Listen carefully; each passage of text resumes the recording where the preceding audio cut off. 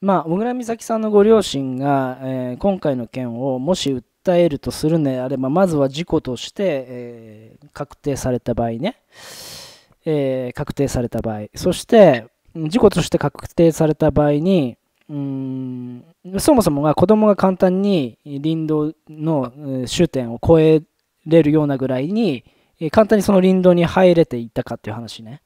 えー、要は、小倉美咲さんだけじゃなくて、他の人も子供が簡単に林道に入れていましたかという話なんですよ。えー、なぜ、まあ、入れていたという段階で、非常に怪しいんですよね。だ遭難遭難のきっかけになる可能性もありますし、そもそもですけど、その林道に関しては、これ、こういうね、土石流のその警戒区域であるわけ。オレンジが休憩者の オレンジと黄色が休憩者地の特別警戒区域と警戒区域、そして紫が土石流の特別警戒区域と薄紫が土石流の警戒区域ということで、そもそもが うんこういうところなわけですよ。だから、まあ、土石流一つにとっても、例えば受付の時に土砂災害が発生する危険がありますので、えー、何ミリ以上を、えー、降った場合もしくは消防とかが来て、まあ、亀裂とかがねこういうところに亀裂とかが白い家のところに亀裂が発見されましたとかって言った時にはすぐさまあのテントとかそういうものもそのままにして、えー、退去をして、えー、どっか道志村のね体育館とかあの小学校の体育館とかそういうところにまあ、つば椿公民館とかでもいいんですけど、退避してもらいますよみたいな宣言文にサインとかしないといけないような場所なわけですよ、そもそもはね。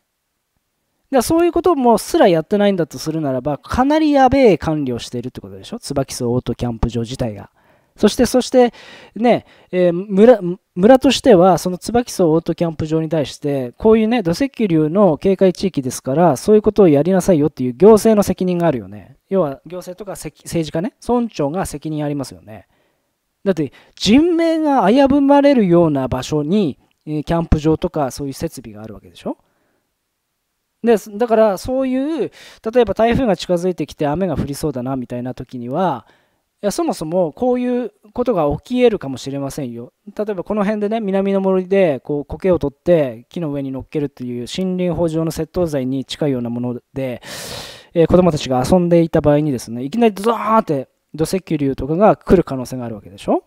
だそういう管理を、えー、ちゃんとした管理をしているのかどうかっていう話なんですよね。じゃあ、非常に怪しいですよねっていう話ね。そして、この裏では、この辺とかでは、獣の死骸とかが見つかってるわけね。ビニール袋に入った生ゴミみたいなものが見つかってるわけね。これ、キャンプ場の人とか捨てて、捨て、まさか捨てに来てませんよねとかって、私なんかずっと思ってきたわけですよね。まあ、あえて口には出しませんでしたけど、今出しちゃったけどね。じゃあ、そういう管理のもとに運営されているキャンプ場なんですよねっていうふうに見ちゃうよね、我々なんかは。それこそ、この園庭とかね、こういう園庭がなぜあるのか。なぜここに段々で園庭があるのかっていうのを考えるような人ね。そういう土地で育って、そういうとこで遊んでたならば、原稿ですよ、原稿。頭ぶん殴られるわけです、おじいさんとかにね。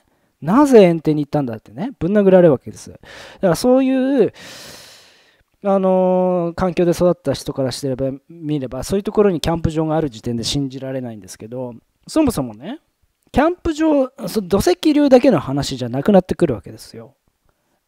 もしね、子供、あの証言で、この、ここで遊んでいたみたいなね、この斜面ですよ。斜面の林道で遊ぶ、子供が林道で遊ぶですよ。わかりますか？北海道の県、わかります ?5 分かそこら辺ですよ。5分かそこら辺に林道に置かれていなくなったんですよ。その件ある知ってたわけでしょ？皆さん。皆さん知ってたわけです。林道に子供がいるということは、非常にどういうことですかと。それ、そういう林道に子供が一人で置かれるような、そのキャンプ場の管理ってどういうことですか？ね。未だに多分ここにチェーン貼ってないよ。何本も私作ってきたのに、未だにここにチェーン貼ってないんですよ。わかります？千葉から来た7歳の女の子がいなくなったんですよ。そりゃ、ね、あの、事件という可能性もあるでしょ？えー、事故という可能性もあるでしょ？それね、警察が事故としてほぼ捜査してるのに、それ言わないからね。だから今可能性としてはあるわけね。どちらかね。そんなやばいところに子供が入れるんですよってこと。事件だったとしても。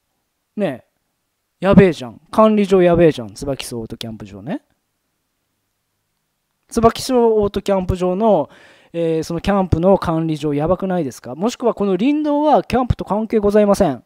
そっちに行っちゃダメってキャンプ場が言ってるんだったら道志村でしょ？道志村の行政がこの林道を管理してるんだったらこの林道を管理するその行政が悪いわけでしょ？いや子供がいなくなった場所なのにいまだに何何もやってないんですかって対策をね。っていうのにもし小倉美咲さんのお母様とかお父様が気づいて訴えなくもないわけですよ。わかります？もし私が親ならねいや、間違いなく訴えてると思う。うん、多分ね。ただ、訴えるためには、まず事故でありますよっていうことを確定させないといけないわけ。だから、どうでしょうかね。ちょっとうがった見方をするとですね、事故か事件か、確定しない方が都合のいい人たちがいるということです。大事だからもう一回言います。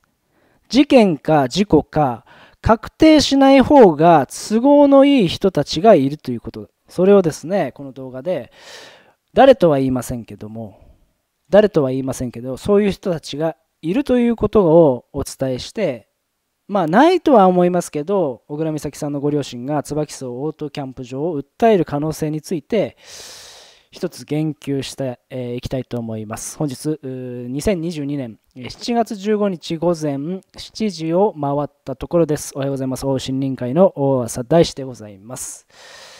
えー、皆さん、この動画をた、えー、ご覧になられていると、裁判ですね、滑落死、児童が滑落死した、えー、話、何回も聞いてると思いますけど、えー、管理してた80人ぐらいの子どもたちが、えーね、登山していて、そして、えその登山した10歳ぐらいの、え子供が落ちて、100メートルぐらい落ちて、沢に顔をつけて亡くなったという痛ましい事件が新潟県であったんですけども、その際にですね、先生方は管理責任を問われませんでした。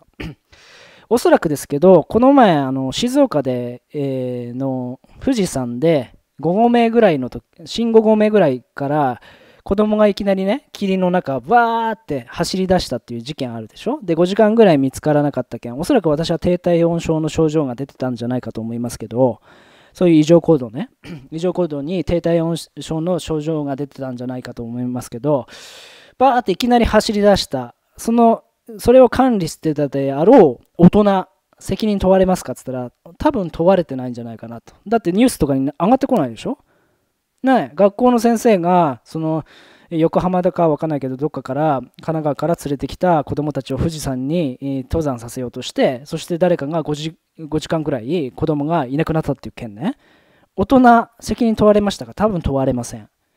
じゃあ今回の美咲さんの件これご両親とかもしくはグループに来ていたその最後に見たとされている K さんとかね。わかんないけどこれ一説だからね。一説としては K さんが最後に見たという K さんとかが責任問われますか？問われません。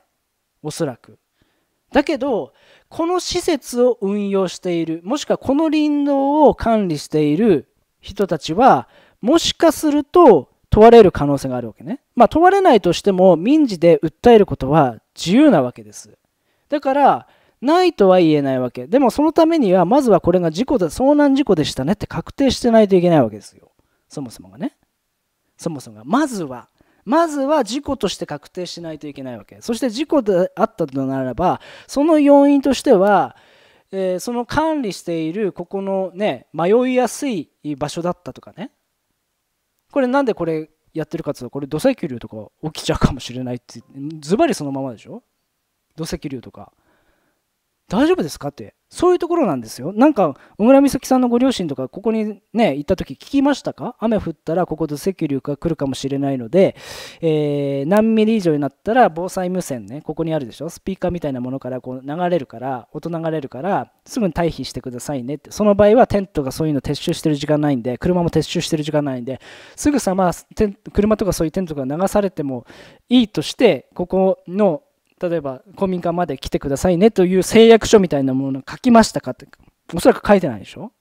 だから土石流一つにとっても安全管理みたいなのがなされているのかがどうかが非常に要は受付通さないでそのまま泊まれちゃいませんかとかね。そもそもこれ何人の人がここにいるんですかというのを管理してますかとかね。まあそういう管理責任に発展しか出ないんですよ。しかも遭難とかね。もしくは熊とか野生鳥獣とかのもし事件があったとするならばわかります？ここにいっぱい生ゴミみたいなものが捨てられてるわけですね。獣の死骸とかね。来るでしょ、熊とか。ね、それを食べに来るイノシシとか来るでしょ？で、そういうやつ、ここに来るんですよ。ここで遊んでたわけですよ、子供が。証言からすると、ここで子供が遊んでたわけですよね。ね近くに来る、おびき寄せてくるでしょ？それなぜかって言ったら、この周りで駆除してるわけでしょ？野生鳥獣の有害駆除やってるわけでしょ？有害駆除やってたら、その野生鳥獣、生き残った野生鳥獣は、こういうところに来るでしょ？う。キャンプ場とかに。子供いるでしょ？遊んでるでしょ？管理どうなってるんですかって話になるでしょ？う。そしたら、おのずと裁判官の印象とかは、あ、ずさんだねってならない？普通に考えたら。ずさんだね？あ、それ女の子いなくなってもしょうがないよね。そういう管理だもんね。みたいな。だから、勝てる可能性があるわけ。もし小軽美咲さんのご両親がですね、椿荘オートキャンプ場を訴えた場合に、まあ、訴える可能性はほぼないというふうに前の動画で言いましたけど、今ほぼないと思うんです。それなぜかその事故か事件かまだ分かってないからね。で、分かっちゃったならば訴える可能性あるよねって。だって、ずさんだもの、この管理。普通に考えてね。だって土石流のこのマップ見たことあるんですかってご両ご両親とか周りのこのここのね使ってる人やばいでしょ？そもそもがね。だからそういうずさんな管理のもとで女の子がいなくなってそして事件か事故かもわからないで3年もなっているのにここに YouTuber が簡単に入れるわけですよ。いや変わってないってことでしょ？管理が。管理が変わってないってことでしょ？そしてその YouTuber が撮るわけですよ。えー、イノシシとか鹿みたいなやつの骨とか肉とかをね残骸を。簡単に入れるんでしょ？簡単に不法投棄でできるんでしょ？みたいな。そりゃ子供いなくなりますわなそりゃ子供いなくなりますわなっていうふうに裁判官が思っても不思議じゃないと思うんですよね。これあくまで可能性の話でそう言ってるっていうわけじゃなくてそういうふうに思う可能性がございますよねってこと。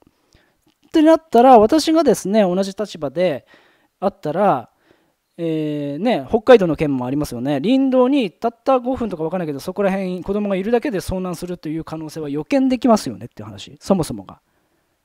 予見できますよね。で、予見できることを、えー、が起きちゃったわけ。起きちゃってみんな知ってるわけね。椿さオートキャンプ場も道志村も知ってるわけでしょ？じゃあ林道に入ってくることをまず阻止しないといけないよね。だ阻止してますかって話。子供とか遊ぶんだよ。今、今、now。now で起きてるかもしれないですよ。今、子供がね、ここで遊んでる可能性があるわけ。この林道とかそういうところで。簡単に入れるように防護とか取ってますかって話。これ訴えられてからやるんじゃない？もしかするとね。訴えられてからやる可能性がありますけど、皆さん、よく見ておいてください。これ YouTuber とか今入ってきますけど、子供がここで遊ぶ危険性があったら、これ、小倉美咲さんのご両親とかが訴えたら、もしかすると勝つかもしれませんよって、裁判でね。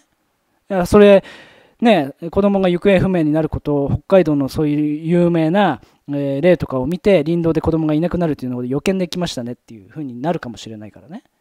そして、私がもし村長だったら、今すぐここに対策を打ちますよね。ここどころか似たような場所あるんであれば、そこのキャンプ場に対して、少なくてもその泊まりに来た人が、子供とかがそういう林道とかで遊ばないように誓約書を書かせるですとか、もしくはもう対策しなさいというふうにね、えー、そういう指示をするとかね。はい、以上です。